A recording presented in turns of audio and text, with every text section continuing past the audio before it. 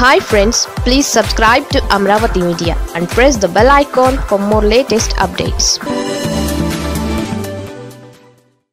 Jaganmohan Reddy గారి దెబ్బకి. జగన్మోహన్ రెడ్డి గారి దెబ్బకి. రెండు వేల పంతొమ్మిదిలో నిన్ను నమ్ముకున్నటువంటి నీ దత్తపుత్రుణ్ణి రెండు చోట్ల తుక్కు తుక్కుగా ఓడించాడు నీ కొడుకు మంగళగిరిలో చిత్తు చిత్తుగా ఓడించాడు రెండు వేల ఇరవై నాలుగు ఎన్నికల్లో నిన్ను కుప్పంలో ఓడించి ఈ రాష్ట్ర ప్రజల రుణం ఎన్టీ రామారావు రుణం తీర్చుకునేటువంటి వ్యక్తి జగన్మోహన్ రెడ్డి గారు. నీకు దమ్ముంటే చంద్రబాబు నాయుడు. నువ్వు గుడివాడ ఇక్కడ పోటీ చేద్దాం. నన్ను ఓడించి రాష్ట్రం వదిలేసి వెళ్ళిపోతా లేకపోతే నువ్వు పార్టీ పీక్కుని పోతావా? ఒకటే. ఒక్కటే బాబు సైలెంట్గా ఉండండి ఒక్కటే నేను చెప్తా. ప్లీజ్ వినండి. ఒకటే చెప్తా. చంద్రబాబు నాయుడు ఎంత అసమర్థుడా చెప్తా వినండి. నాది గుడివాడ.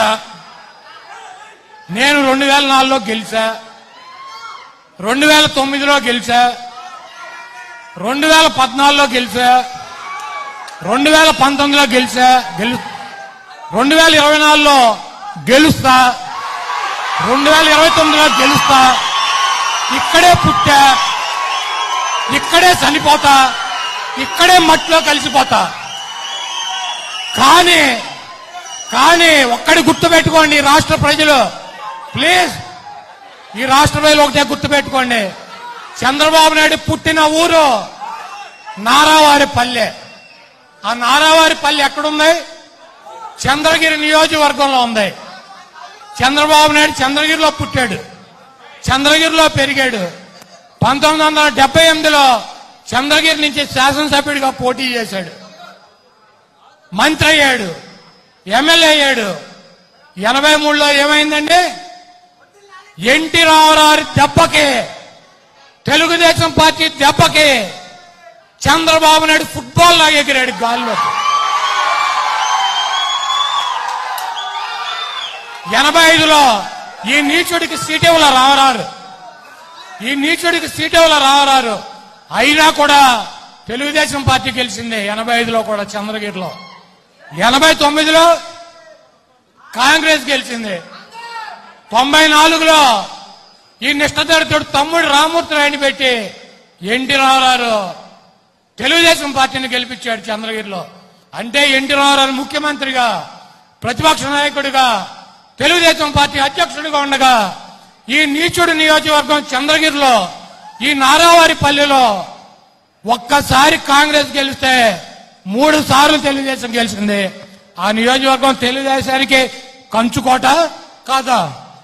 ఎన్టీఆర్ ఉండగా కంచు కోట. ఈ రోజు చంద్రబాబు నాయుడు ఎన్టీఆర్కి వెన్నుపోటు పొడిచాడు.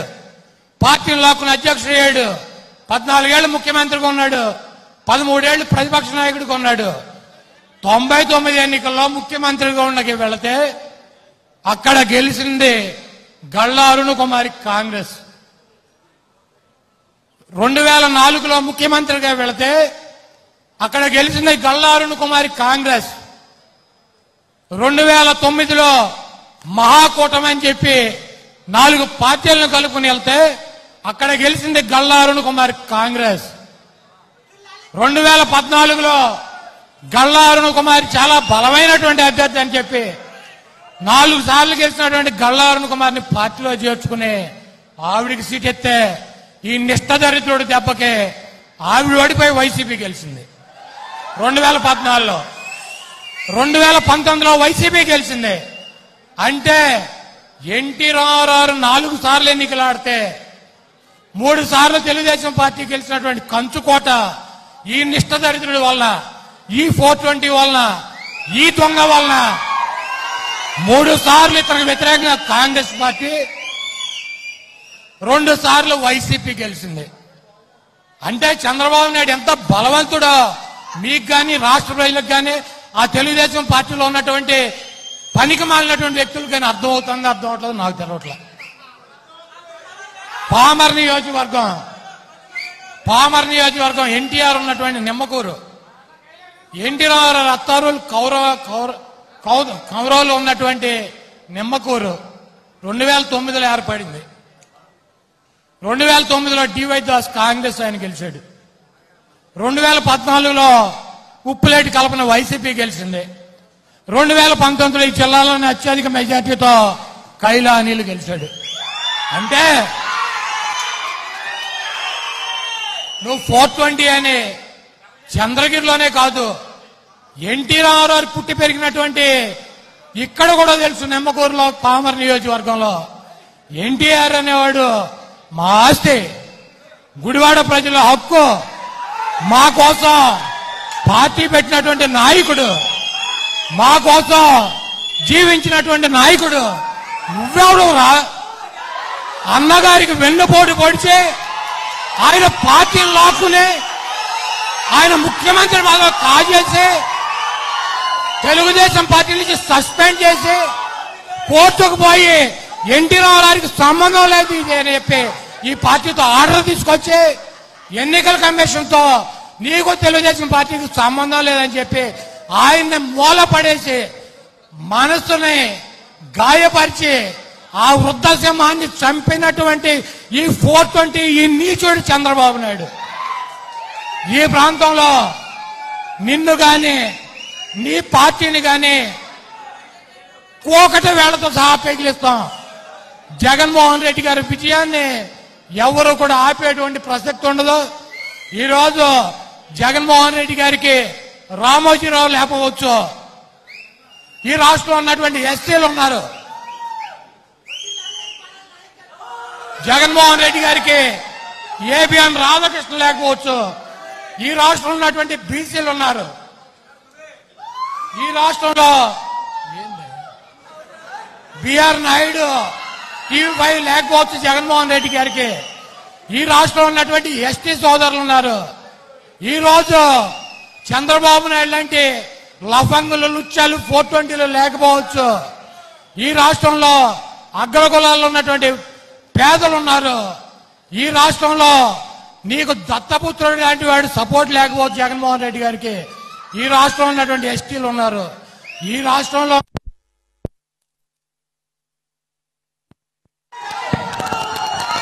ఈ రాష్ట్రంలో ఉన్నటువంటి ప్రతి ఒక్క వైఎస్ఆర్సీపీ కార్యకర్తగానే రాజశేఖర రెడ్డి గారి కుటుంబ సభ్యులుగానే మనందరం కూడా జగన్మోహన్ రెడ్డి గారికి ప్రతి క్షణం అండగా ఉండాల్సినటువంటి అవసరం ఉంది. ఈ రామోజీరావు రాధాకృష్ణ బిఆర్ నాయుడు చంద్రబాబు నాయుడు పవన్ కళ్యాణ్ ఇటువంటి దొంగలు ఇటువంటి ఫోర్ ట్వంటీ నుంచి కాపాడుకోవాల్సినటువంటి బాధ్యత ప్రతి బీసీలకి ఎస్సీలకి ఓసీలకి మైనార్టీలకి ఈ రాష్ట్రంలో ప్రతి సంక్షేమ కార్యక్రమాన్ని అనిపిస్తున్నటువంటి ప్రతి ఒక్కళ్ళ మీద ఉంది. జగన్మోహన్ రెడ్డి గారిని మనం పోగొట్టుకోకూడదు. ఈరోజు పెద్దలు చెబుతారు. ఏం చెబుతారు పెద్దలు? పెద్దలు ఏం చెబుతారు? ఏ ఒక్క నిమిషం ఆగినానా కుటుంబ పెద్ద. కుటుంబ పెద్ద. వ్యసనపరుడై భార్యా పిల్లల్ని పట్టించుకోకుండా ఉన్న ఆస్తిని అమ్ముకొని జలసాలు తాగి చేసేటువంటి వ్యక్తి బతికుంటే ఆ కుటుంబం సర్వనాశనం అవుతుంది రోడ్డు పాలైపోతుంది వీడి సత్యలోపు కాబట్టి వీడు సస్తే ఆ కుటుంబానికి దరిద్రం వదులుద్ది. అదేవిధంగా ఈ రాష్ట్రం రాజశేఖర రెడ్డి గారు హెలికాప్టర్ మర- ప్రమాదంలో మరణించాడు. ఏమైందండి రాష్ట్రం? రెండు ముక్కలైంది. కాపాడగలిగినటువంటి మగాడి ఉన్నాడా? రాజశేఖర రెడ్డి గారి బతుకుంటే ఆయన శిరస్సు రెండు ముక్కలయ్యేది కానీ రాష్ట్రం రెండు ముక్కలు అవనిచ్చేవాడు కాదు. కాబట్టి ఈరోజు పేదల కోసం బడుగుల కోసం బలహీన వర్గాల కోసం మైనార్టీల కోసం గిరిజనుల కోసం మనందరి కోసం కష్టపడి పనిచేస్తున్నటువంటి జగన్మోహన్ రెడ్డి గారిని కాపాడుకోవాల్సిన అవసరం మన ఒక్కళ్ళందరి మీద ఉంది. ఈరోజు వైఎస్ఆర్ కాంగ్రెస్ పార్టీలో నాకు మంత్రి పదవి తీసేసిన పేర్ని గాని గారికి మంత్రి పదవి తీసేసిన లేకపోతే ఉప్పాల ఆరిఫ్కి జిల్లా పరిషత్ చైర్మన్ ఇవ్వకపోయినా రాము కావచ్చు. అదేవిధంగా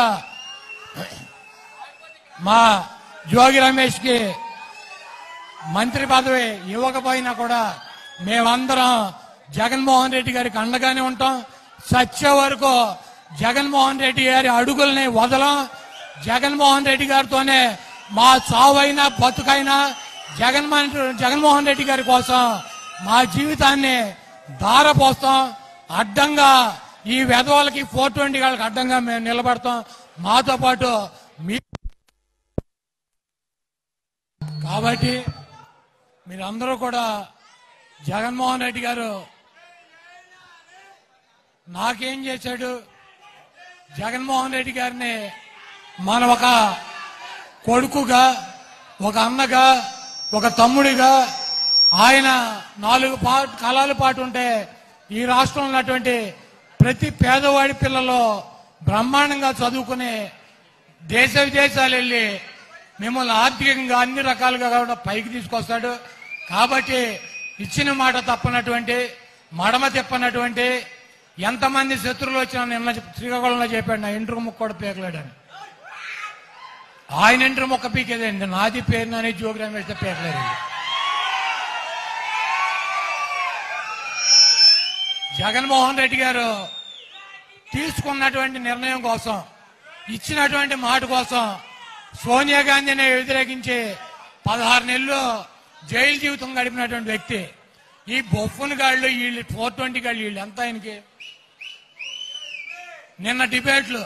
జగన్మోహన్ రెడ్డి ఏక మొక్క అనొచ్చు మరి ఏం మొక్క అనాలరా ఏం మొక్క అనాలి మీరు? ఆయన ఏం పీకారు? రెండు వేల పదకొండులో ఆయన పార్టీ పెట్టిన కాడి నుంచి ఇప్పుడు దాకా ఏం పీకారు? ఏం పీకారు జగన్మోహన్ రెడ్డి గారిది? ఈ ఏకమొక్క ఆయనది కాదు. ఆయన ఊడిపోయిన ఏకమొక్క కూడా పీకలేకపోయారు.